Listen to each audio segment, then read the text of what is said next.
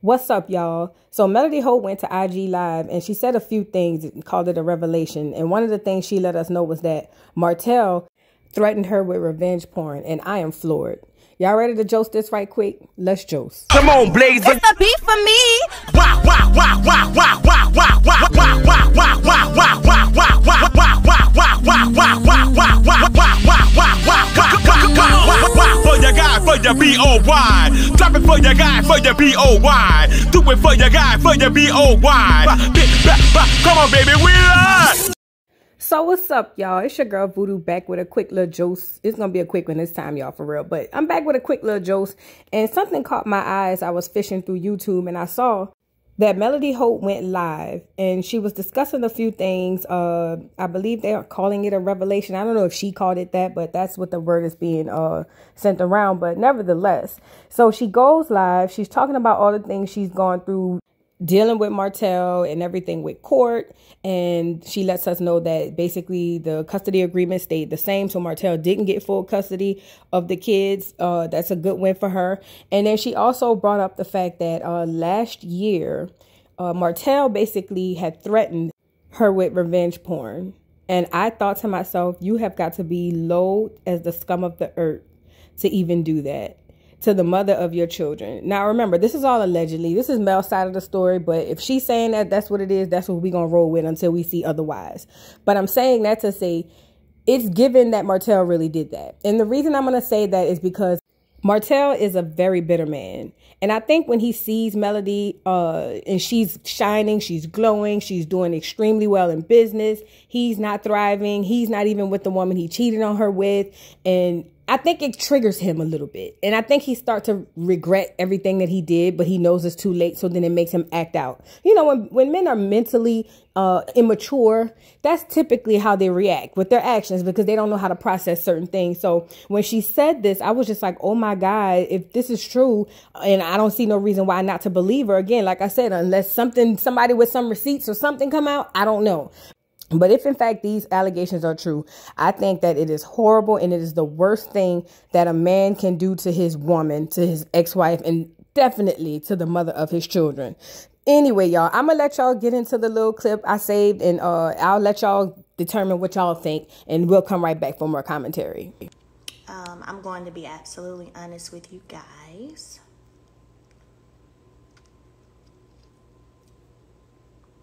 I'm gonna try my best to get through this. Um, I'm gonna try my best to get through it. Y'all gonna have to be patient with me today. Um, but so there was a video, a live that he did where he literally talked about the case and came for me. And I responded to that live. Whenever I responded to that live, he sent me a screenshot of the video from the video, and I know the video. I remember where we were. It, I, you remember details of things. I remember the video that we did um, with my then husband, by the way, just in case any of y'all are questioning that. Um, and said pretty much like, stop talking about me. I'm gonna drop this, even though I responded to a live you just did about me. Wow. But okay, bet. So um, I then took to social media and said, revenge porn, really? I don't do threats, I do promises. Sent the screenshot to my attorney with the text message. I have all of that. Um, and then that was that, right? So for a couple of days ago, for someone to reach out because Carson, just so y'all know, she did reach out to me directly um, a few days ago. So if you think that she didn't, she did. She came to me privately and directly with the information. Um, and I knew she was telling the truth.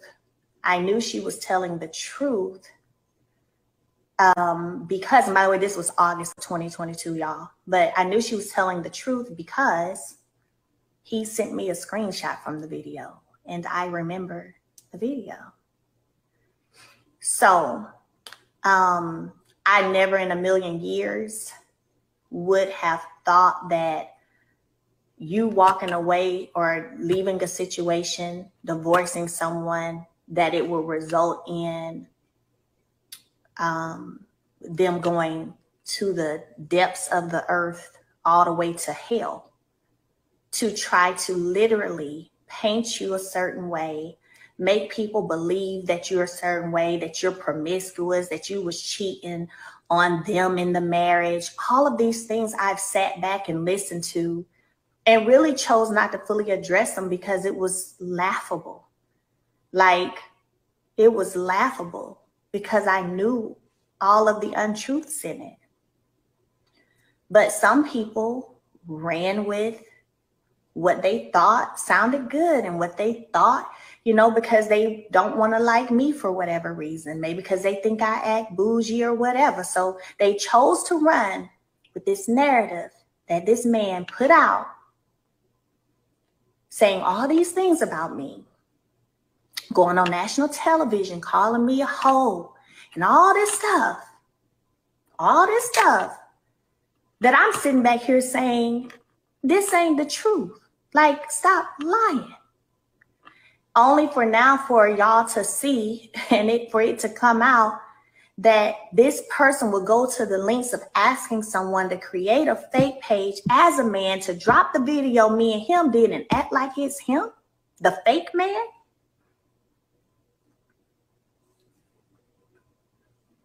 We've seen him go on this crusade to everyone on this show, to everyone in this city, people y'all don't even know about.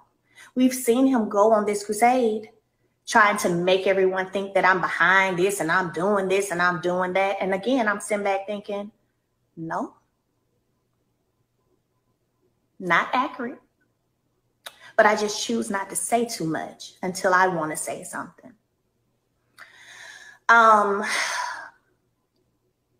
I want to go for a minute to what it would have been like had this video had gotten dropped. Because even though it didn't happen, we're gonna in order to feel it and get it we're gonna put ourselves in our in those shoes of someone you were with for 14 years who you share four children with who continuously claim that they want such a positive co-parenting relationship but is doing the things that are being revealed then i say this is going to be the live of revelation today that are being revealed I ain't going looking for nothing. God continues to bring things and protect me. I didn't go ask nothing. I'm not going looking for nothing.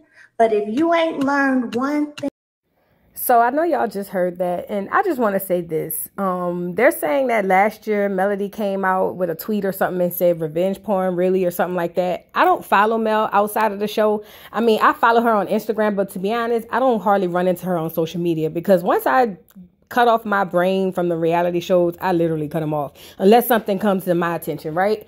So this video would explain uh, that tweet or that comment she made on social media last year. And let me just say this something Mel said in this video that rings true at the end of the day. Mel said, Everything you keep coming at me with, it fails because God protecting her. You know what I'm saying? And she basically says that she's thriving, she's doing well, and he's not.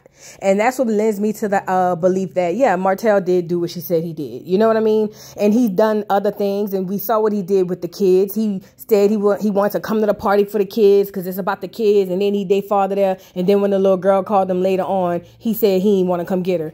That's the type of stuff that we dealing with when it comes to Martell. And it's odd because I'm hoping that relationship between him and Sheree is fake because if this is real, girl, and it could be because you know Sheree do not have good taste in men, child. And I don't mean physically. I'm just saying in in general. But if you are dating this dude for real and this is what he's sending his wife through, you are just waiting in line for your turn for him to do the same thing to you. He not only did this to his wife, he treated his side piece bad and had her thinking they was gonna be together when he was married. And then as soon as they get divorced, he tell her he'll never be with her. Martell is not a good man when it comes to dating. He's not a good man. He's not a good person. Martell's literally not a good person and it's showing. It's showing in everything that he's doing. He's really failing at everything. And the fact that he sat up there and even threatened this girl and if she says she got screenshots and sent it to her lawyer, I would love to see or know what the outcome of that was. I mean, maybe they didn't do anything because he didn't actually send it, but then to find out that he later on tried to get with somebody else to create a fake page and put it out there, like come on, man listen, let me just say this because I'm not a millimeter. Let me just start there. But I am for right. And this is what I will give Mel. Mel is a classy girl. Mel is not the girl who got to walk out with her boobs out, her ass out. You know what I mean? Mel comes off very Southern Belle. You know how like Phaedra said she was? Mel really gives Southern Belle vibes. I'm not going to lie. I think something like that would have devastated her. Like literally devastated her. And he knows that. I just wish that Mel had seen these qualities in him way earlier and way beyond or before four kids, right? Because as much as he do some really jacked up things, there's really not much Mel can do as it pertains to having to even interact with him and deal with him. Um, they have kids together. They can put in the most strenuous uh, drop off, pickup, you know, things and everything. But at the end of the day, that is still her child's or children's father. And it sucks to have to be attached to somebody like that. It really does. And let me just say this too. Uh, if you sensitive to cursing, just close your ears real quick because I got to get this off my chest. Martell, you a old bitch ass nigga. You is a bitch ass nigga and a real nigga should have bet the piss out you long time ago. Say what I said. Anyway, back to our regularly scheduled program. I just had to get that out. But no, yeah, seriously, this is insane. This is nasty. This is disgusting. Um, Martell, you're going to pay for everything you do. And listen, the world is circle for a reason. Everything you put out there comes right back on around to you. You hear me? Y'all drop down in the comments and let me know what y'all thought about Mel in this situation and him trying to conspire to release this girl's sex tape. And we probably would have found out your little Pee Wee was small anyway, Pee Wee Herman. I'm saying this don't make no sense. Martell be wearing the tightest of the shorts and we ain't seen a print yet. All thighs, no prints. Make it make sense. Girl, just blew me to smithereens. Anyway, like I said, drop down in the comments. Please don't forget to like, subscribe, hit the notification bell, follow me on TikTok, and I'll see you hoes later. Bye. Mr. Carroll, how you give the voodoo doll time to talk? I don't get no fucking time to talk. Who the voodoo doll is? The nigga you just had up here.